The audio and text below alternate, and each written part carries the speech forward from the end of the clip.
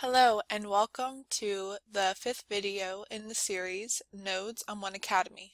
In this video we're going to give you an overview of the different types of nodes on 1Cademy and in the following videos we're going to detail the purpose of each one.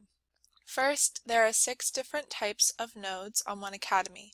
Concept, relation, question, code, reference, and idea. You can tell the type of node by looking at the icon on the bottom left-hand corner of each node. For example, this one is a relation node. Each type of node presents a certain piece of information.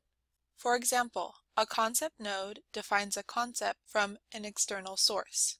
However, an idea node shows an original thought or idea from the proposer.